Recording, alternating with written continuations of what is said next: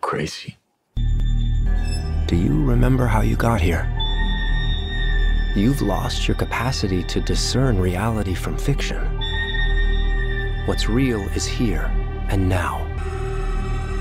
Anything else is just your mind playing tricks on you.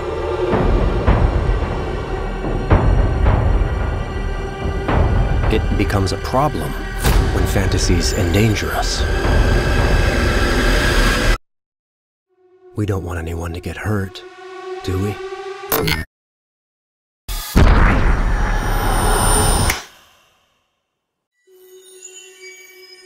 Thomas? You seem particularly triggered right now. Can you tell me what happened? I've had dreams that weren't just dreams. We don't use that word in here.